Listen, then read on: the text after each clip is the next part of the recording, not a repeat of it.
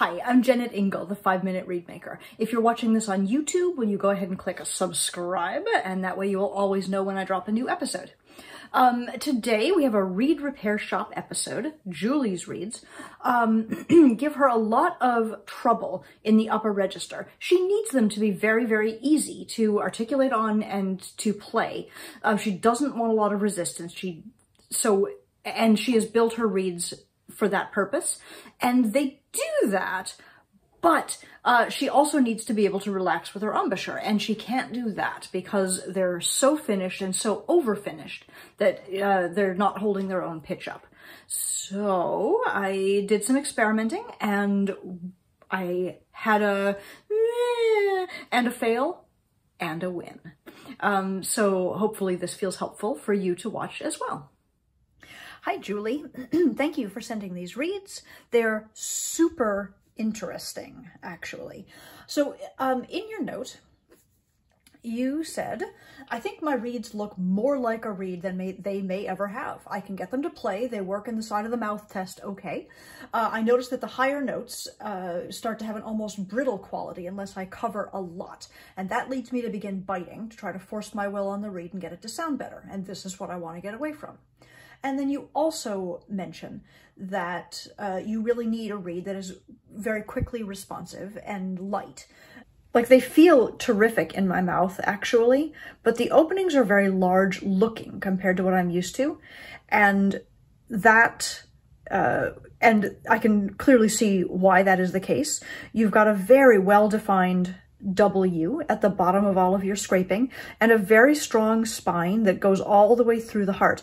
And actually, when, when what you describe is needing to have a reed that is light and responsive and up to pitch, and that is perfectly clearly what you are building here uh, on purpose, and I salute that. Um, the strength of the spine helps to hold the reed open. The You've left a strong spine in the middle of the heart and then scraped the channels, which is the trick that I use to reduce resistance while maintaining pitch. So I love that. I think it's exactly right. Um, and I can see that you've done a good job, a pretty good job of leaving uh, material in the middle of your tips.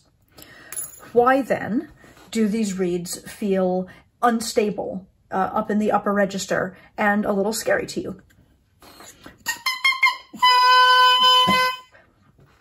Here's your reed number two, I guess, and it's actually crowing a little bit low, I think. It's crowing about a B, and I feel that little instability in it as I play. It feels a little too open. It feels a little too unsafe. Like if I let go with my mouth, it's going to go...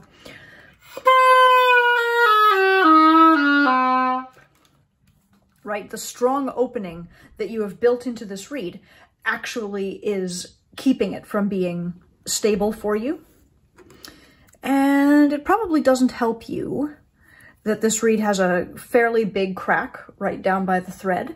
Now, I never get panicky about a big crack like that. It is not a um, fatal flaw necessarily, but it is a strike. I would call that a strike against a reed. And as I put my plaque in here,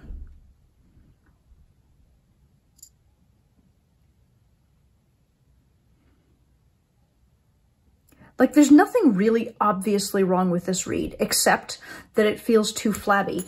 But when I checked your reeds with my micrometer, I found that right in the middle of your heart, um, you have a real stable 50 millimeters, which is totally reasonable. And same on the other side, but you'll notice that between where the spine is and where the channel is, there's a real dramatic difference. It goes from nearly 50 to under 40.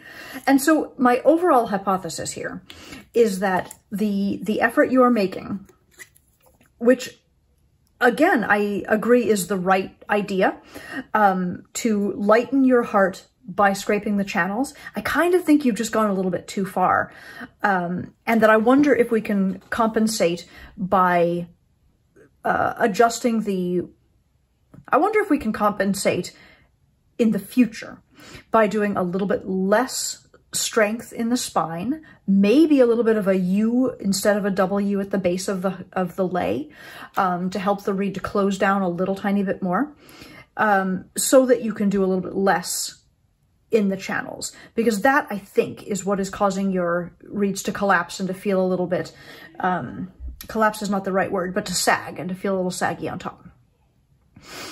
In the immediate term, what I want to do with this reed to see if I can bring it back together for you um, and this is one of the one of the most finished reeds here. So I'm not promising that this is actually going to work, but my proposal would be um, to scrape over this crack because the concern we always have with a crack, I think, is that if the arc of the if the arc of the cane is supposed to look like this, when there's a crack, sometimes it looks like that a little bit more. It, it causes the curvature to stiffen and become like this, which certainly can be holding your reed open. So what I'm tempted to do, and this is an experiment on this reed. If I'd been smart, I would have started with a different one. Um, I would like to scrape over that crack to uh, eliminate its influence on the reed a little bit.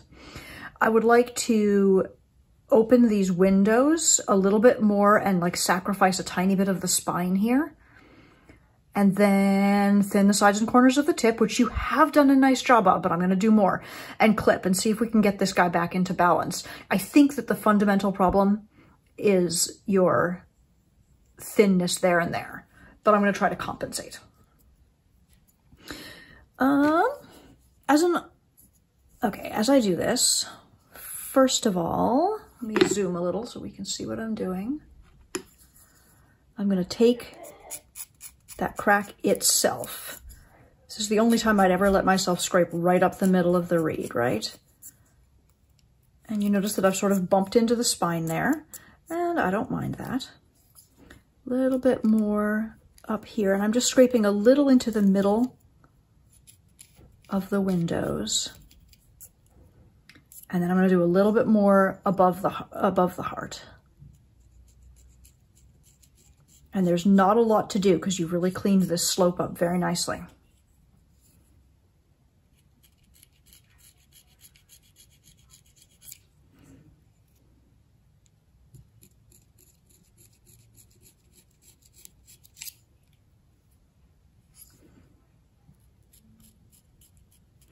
So you can see how little cane is actually coming off this. It's just tiny, tiny scrapes.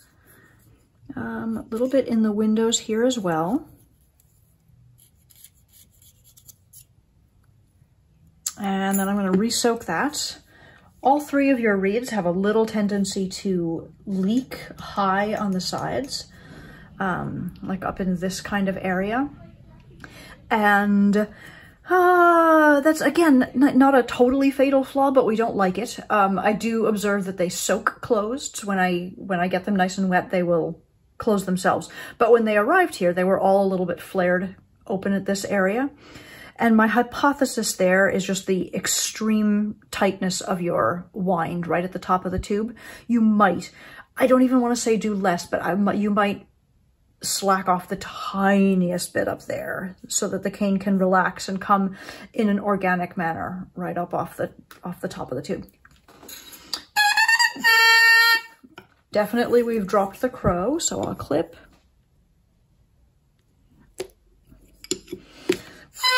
That was quite a substantial clip, maybe more than I intended, but listen.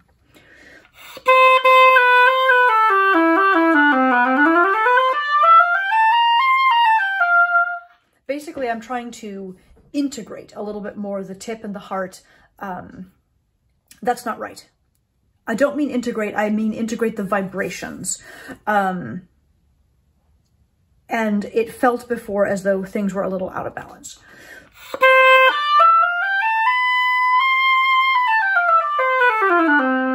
If I go out the side of my mouth, we still hear that flatness, right? That, uh, um, that lack of control, that lack of holding itself up. And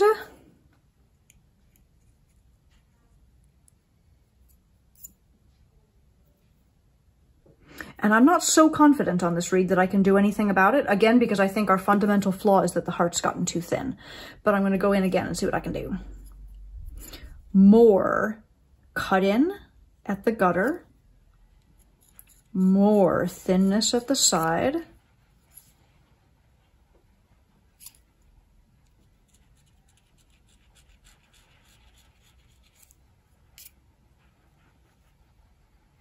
And on the other side too. Definitely find that I'm regretting I started with this reed.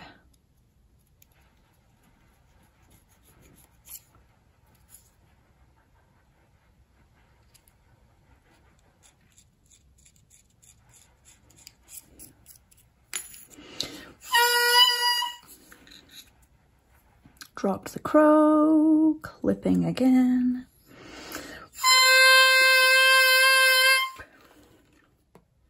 It's a low and flappy crow.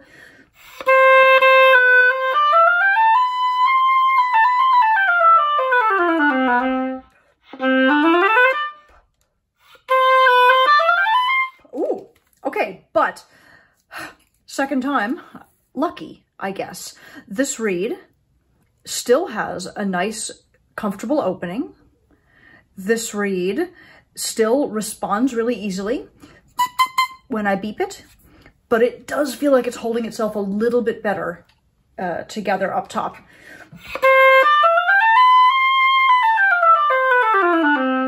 I don't feel like I'm fighting uh, the opening so much. I don't feel like I have to bite in the upper register to hold the pitch together.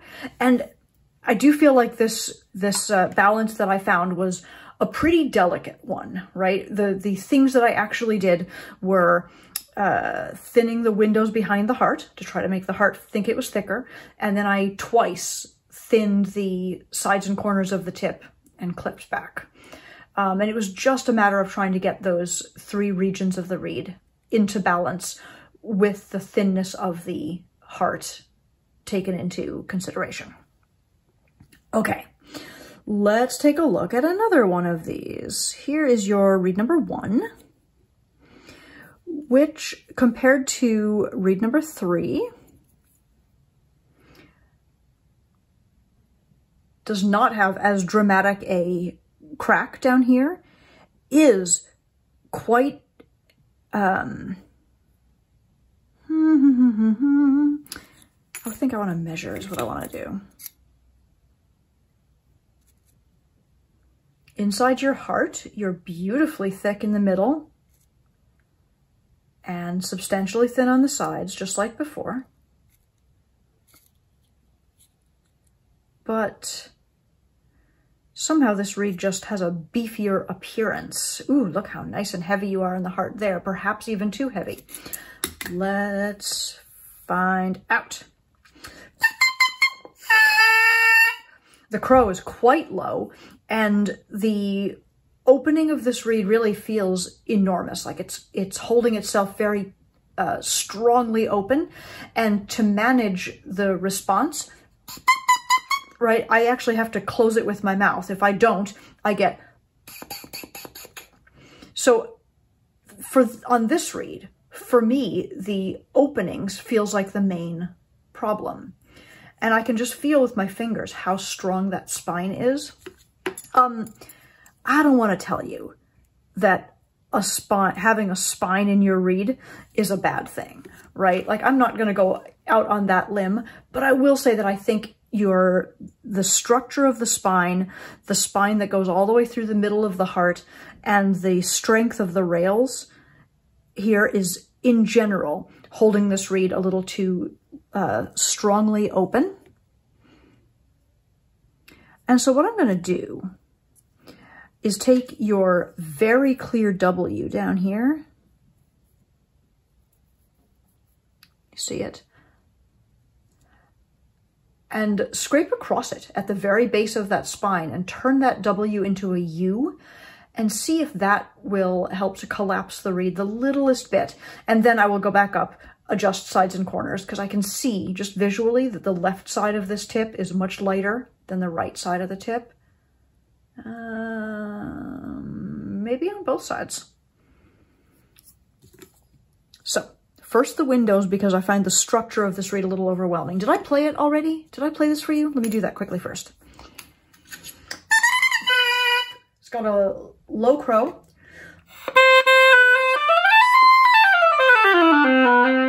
And there's a, a, definite wildness to the sound, which I think is mostly caused by the tip that is a little too heavy.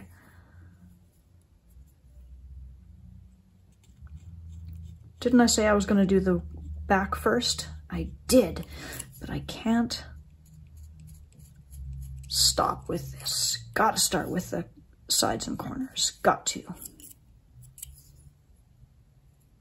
I'll come back to it though, I won't forget.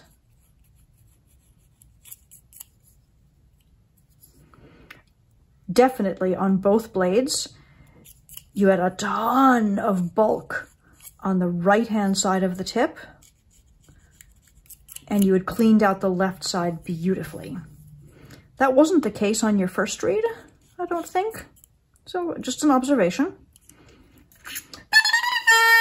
So immediately that the crow came down, but also organized itself a lot better.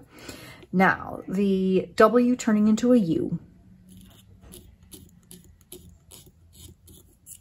I'm basically just going stroke, stroke, stroke, stroke, stroke across the bottom of that reed. And I'll do the same over here, but it's not, although it's not as pronounced on that side. And now I'm going to clip and we'll see if we're getting closer.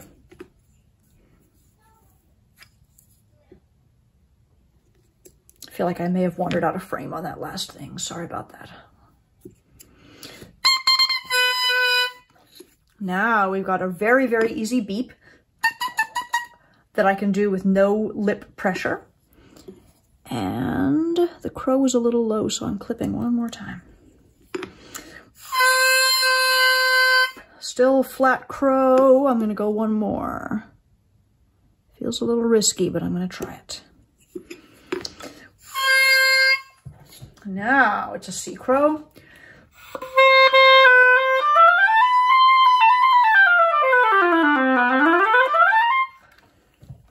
But I feel like I've lost response a little bit. I've moved into a thicker part of the tip because I clipped a whole bunch of times just there. And so uh, now I'm just going to go back into the tip and do the same thing again. Clean cut in at the gutter. Gently scrape up to the corner. Both sides. And it's still the case that the right side is a little on the heavier side. I'm being especially careful right at the top because, of course, that's the region that uh, used to be the middle of the tip, right? And I've clipped back. So suddenly what was the middle of the tip has become the tip of the tip, and it's not used to being thin.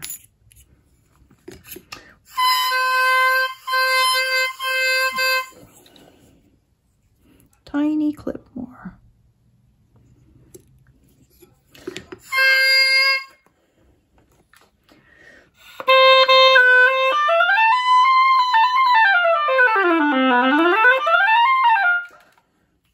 Well, I've got the ease now. It feels very easy to play, but I don't like the sound. There's a wildness uh, up top that feels scary to me.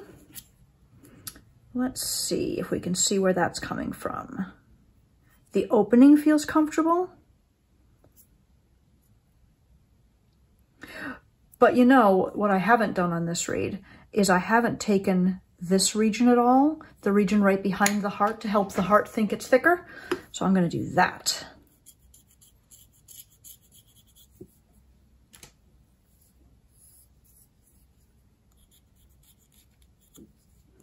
And you've done such a beautiful job of smoothing this that I'm trying not to go, uh, yeah, I'm trying not to unsmooth it too much.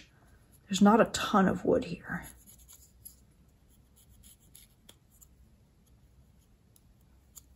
Hmm. It's definitely hard for me to get at that area that I want. Let's see.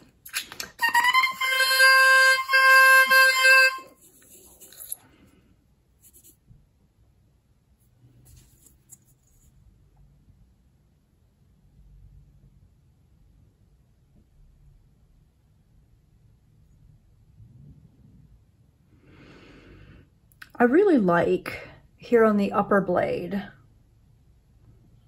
the transition between the heart and the tip. I can really see the concave cut in between the heart and the tip. On this side, it's definitely messier.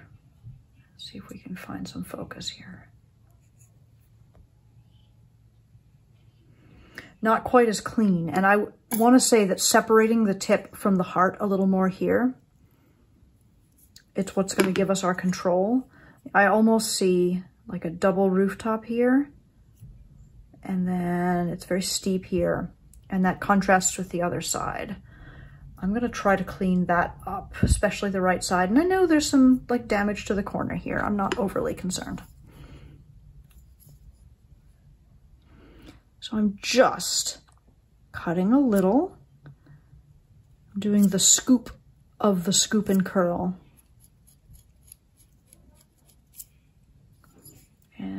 Collecting it back over here. Now do I have the response I want?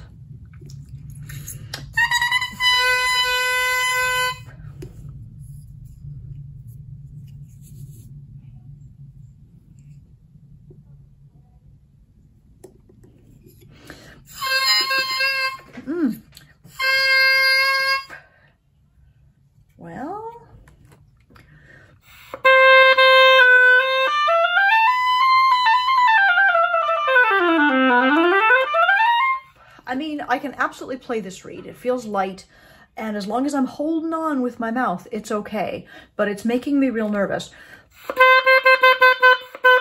Because as soon as I drop the support with my embouchure, it really falls down. What happened between these two reeds? Because eventually we got the other one down. Our measurements look similar.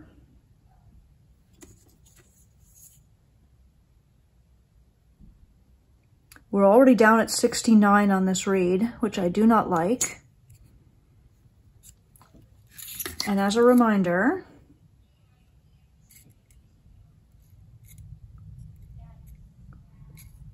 you've got strength in the middle of the heart.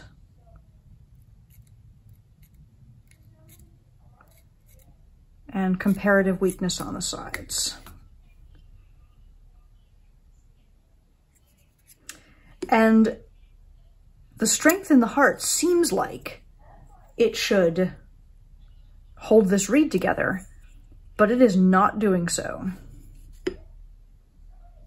I'm going to separate the tip and the heart more and see if we can uh, get these guys back into balance because that's the only thing I can think of to do here.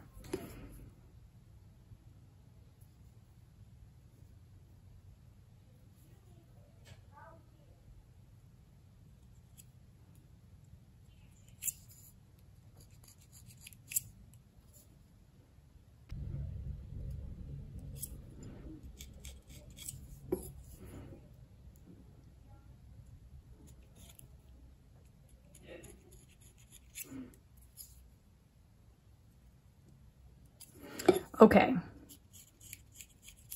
Now, I did a really dramatic cut in on both sides here. And if that didn't improve it, then I sort of feel like maybe you have stumped the chump here.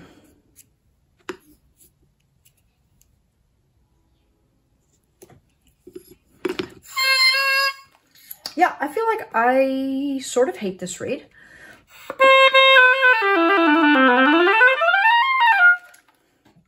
Hate this reed. I'm going to send you a replacement um, and try to experiment with matching what you need with out of my with my own reeds because this guy is not working for me not one bit.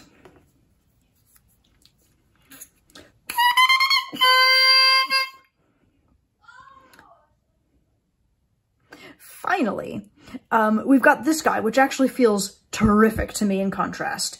Um, it's much heavier. The beep is okay, but the, the reed is holding itself closed so much better. And he's much longer than the other ones. Makes me think that he's uh, like a day one reed compared to a day two or day two compared to day three. Um, this is a reed that doesn't feel like you've taken too far yet, and I welcome that. Almost, but does not quite crow. It's quite long. I'm trying to figure out which side is the top and which side is the bottom.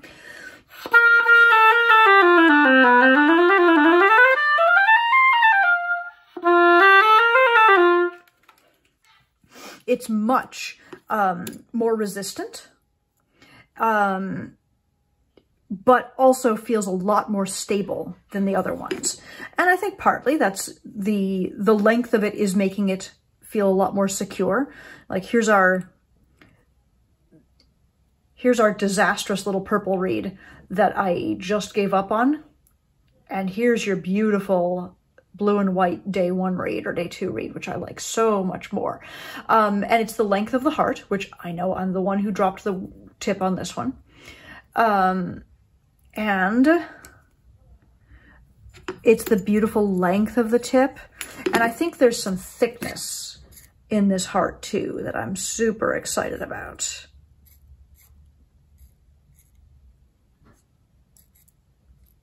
And I say it, okay, there it is. We're about 51-ish, 50-ish at the spine of the heart.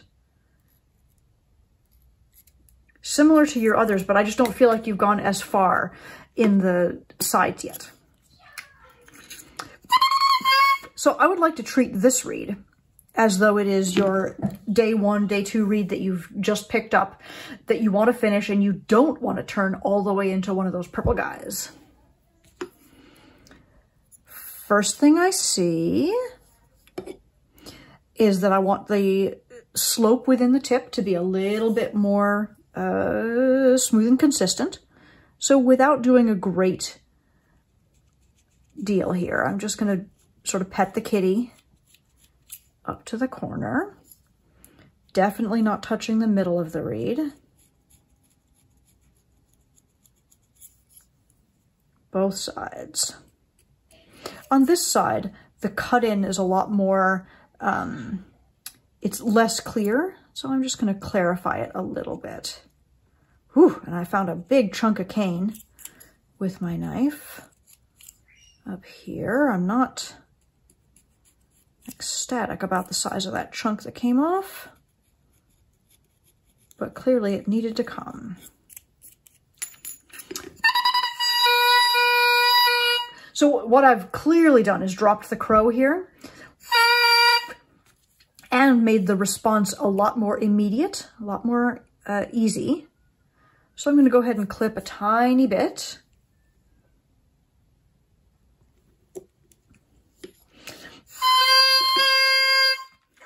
Brought my crow back up. So all I've done is tip and clip.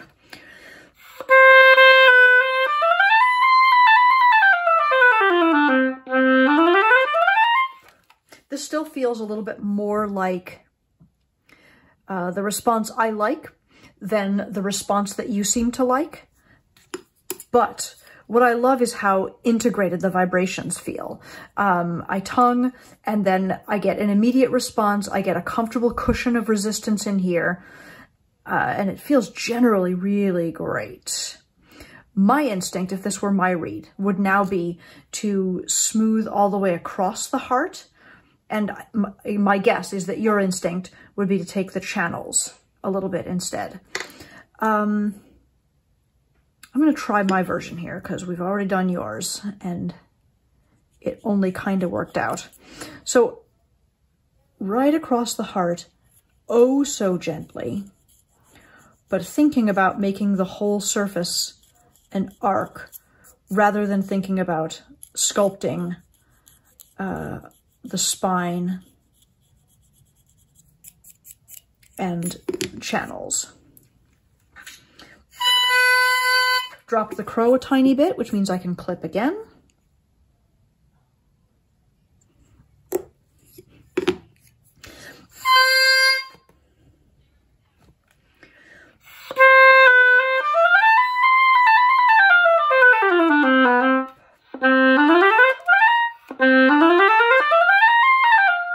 Now that makes me a lot happier um, because I feel like if I let go with my mouth, it's not going to go bonkers on me. Little bit maybe, but not nearly as much as the other ones. Remember our reed number, it's technically your number two, but it's the first one I did.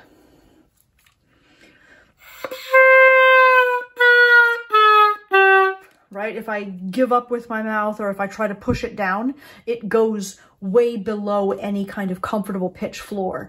Um, but this one feels like it has a floor that it won't really fall beneath.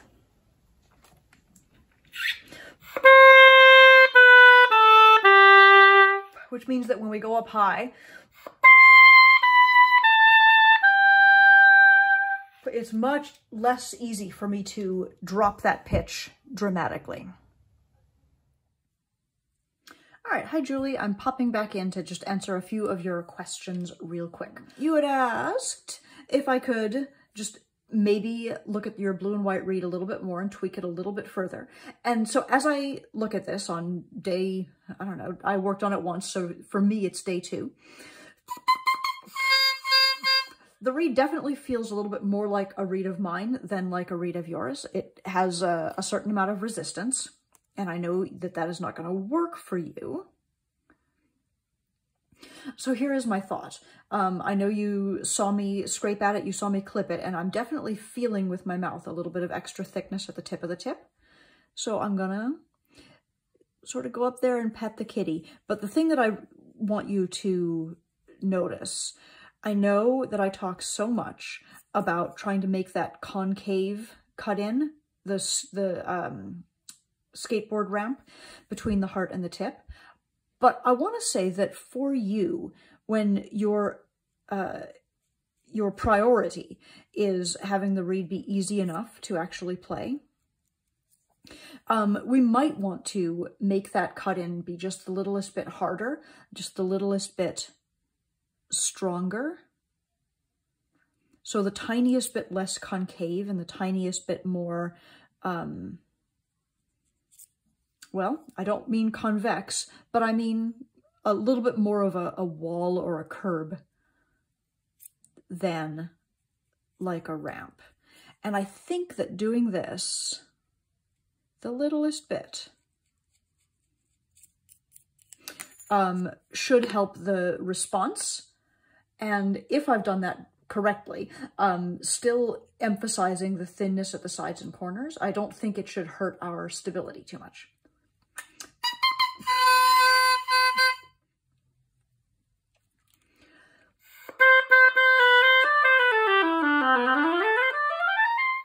I feel like I don't even have to blow to make that work. And it's not uh, giving me a lot of sag or a lot of instability. Um, so all I did just now was I took off the very, very uh, tippity top, just the edge of thickness that was left when I clipped and clipped and clipped yesterday. And um, I took your cut in from being the skateboard ramp to being just a little bit more that. Um, and, and hopefully that makes sense, right? It's the heart here moving into the tip. And while, of course, there's still nuance here, right? This is the, the strength of that cut in down at the gutter, but toward the middle of the reed, toward the, toward the peak of the rooftop, I'm cutting in less strongly. Um, it might be more like hard, hard, hard, hard, hard, hard, hard, little bit less, and hard, hard, hard, hard, hard again. And that's, this is the messiest diagram, but I just wanted to be clear about what I was doing there. Um, but the more, the more you do that kind of hard cut in right at the rooftop, um, the easier the response is going to be. And the, the, uh, not payoff, the opposite of payoff, the, the, the trade-off is in sound quality sometimes, in like connection between the tip and the heart in terms of just like having the overall reed vibrating. But actually, I think that, that what you want is a reed that has stability back here, plenty of stability in the heart and the and the windows, but basically functions from the tip because that's what you need in terms of the, the blowing that you're able to do, is my understanding. Um, and then you had also asked me to talk about the distinction between scraping in the channels of the heart and scraping in the uh, and scraping across the heart. So I'm going to quickly diagram it and then I'll show you on a reed.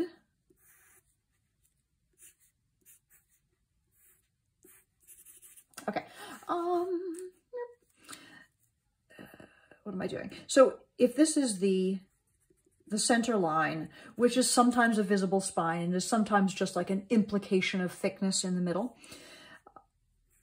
I want to draw the distinction between uh, scraping very specifically this region of the reed, the, the channels here, versus scraping sort of all the way across. And my basic go-to is to scrape across. And my suspicion, honestly, is that the thinness in your, in the channels of your heart may have come even while you were doing a long scrape, right? Um, and intentionally leaving spine and like scraping all the way through. And like, if so, all I would suggest is backing off a little bit as you're doing the long part of your long scrape. Um, but if that's something that you're intentionally doing after the fact, like intentionally doing in your finishing process is scraping here and scraping here, instead I would say, let's experiment with doing more scraping that starts on the left and arcs across, just sort of crossing the reed, but with the idea that, ooh, I'm going to draw it again. Okay. Let's call this the the arc of the of the cane itself. So like you could you might be looking in the opening and seeing this. And now I want you to think about this as a cross section of the heart. I actually do in my reeds want it to be thinnest here at the side.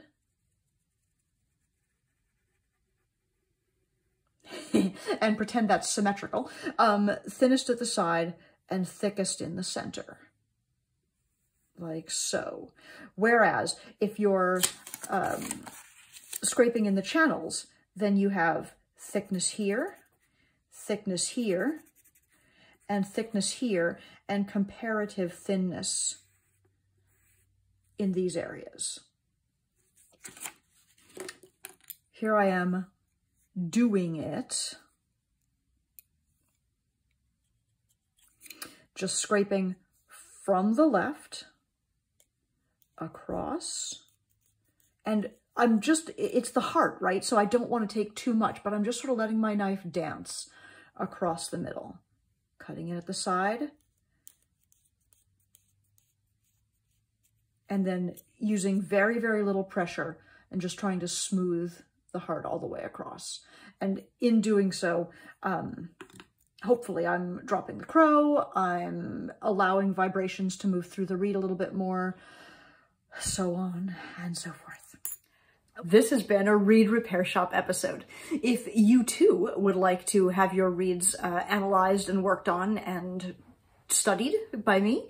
Uh, you can find information about that at my website, jennetingle.com, which is also where you could order reeds or cane and where you could reach out to me to ask me any questions that you had that you thought I might be able to cover on a future 5-Minute Reedmaker or Reed Repair Shop episode. Thank you so much for watching. Have a great day.